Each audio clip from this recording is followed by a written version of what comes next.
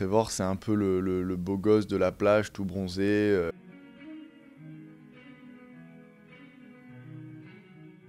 Ah, Trevor, c'est le râleur de, de base. Euh, il râle sur tout et voilà, il aime bien euh, donner son avis. Tu vois, il donne beaucoup d'avis, beaucoup de, beaucoup de choses pour essayer de, bah, de changer quelques trucs. Il râle sur l'organisation, c'est toujours mal organisé. Je pense qu'à Milan, c'est le club le mieux organisé du monde. Il est soi-disant le meilleur beacher à Royan, mais bon, je l'ai pas trop vu, ça encore. Trevor, lui, il joue mais ne gagne pas. Il ne gagne pas les tournois. Ah, c'était le, le capitaine de l'équipe de France Junior. Trevor, c'est un peu le, le- le beau gosse de la plage, tout bronzé. euh, C'est un gars de la plage, il adore la plage. le blond, quoi. Ibiza, sa destination préférée, Ibiza, c'est sûr. Le blond, comme dans le sketch de Gad Elmaleh, tu sais, où la tomate, elle sort jamais du burger et tout. Il aime bien euh, se la chiller à la plage, euh, tranquille, tout le temps en tongs. euh, voilà, le soleil, euh, c'est ça c'est très bon. Quoi.